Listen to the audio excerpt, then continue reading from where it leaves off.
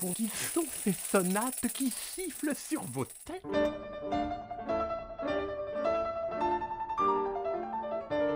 Ce sont les sonates de Scarlatti. Mon cher Domenico va, grâce à moi, le serpent à sonate, rencontrer Lucas de Bargue. Mais ce qu'il ne sait pas, oh le pauvre, c'est que son interprète va le décortiquer comme un renard. Normal, un soir de décembre avant les fêtes. Vous allez savourer, ce sera succulent, mmh,